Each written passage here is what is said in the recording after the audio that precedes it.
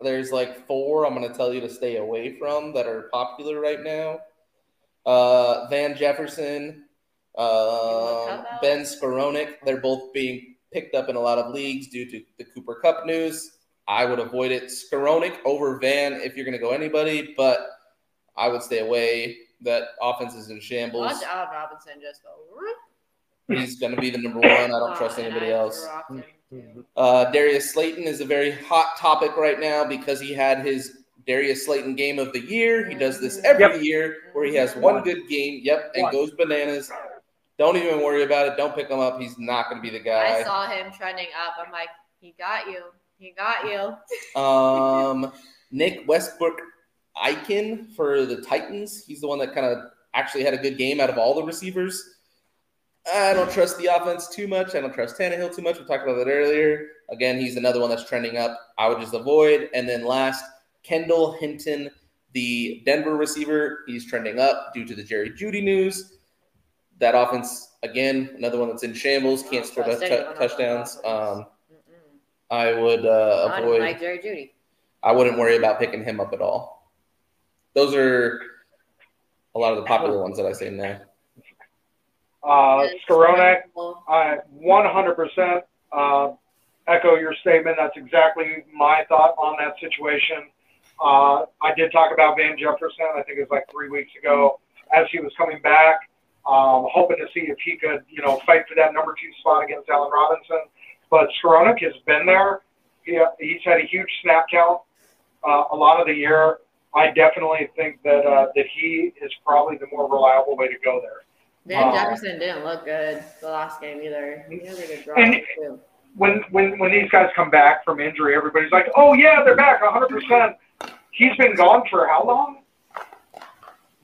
Awesome. You, you, you don't just and their offense you don't step back. Um, the only the only other thing I have to add would be DeAndre Carter. Uh, yeah. If you are a Mike Williams and or Keenan Allen owner, that game is going to be played on Sunday night, which means if they don't play, the only options you will have are the unknown options from San Fran and Arizona, who play on Monday night. So, if you have better options, I would obviously sit those other guys, uh, Mike, Mike Williams and Keenan Allen, because that's a risk you don't want to take. However, if you can manage to snag DeAndre Carter, you it could be a solid fill-in for the Sunday night game. Um, it's all about what your what your roster is looking like. Uh, it, I don't think it's something I would chase unless I'm a Mike Williams or Keenan Allen owner and I want to try and start either one of those guys, but I can't risk being left empty-handed if they don't play. So just if you have Keenan Allen, just expect him not to play, and if he does, expect him to do bad. What did I tell you? What did I tell you? I there's only there's only one thing that Keenan Allen is better at than being an NFL wide receiver, and what is it? It's being me off every week. NFL wide receiver. I was, I was doing so I warned good. you. I had Mike Williams in the league, and I was doing so good. I was doing so good. I was winning every week, and then since he got hurt, I've lost every single week.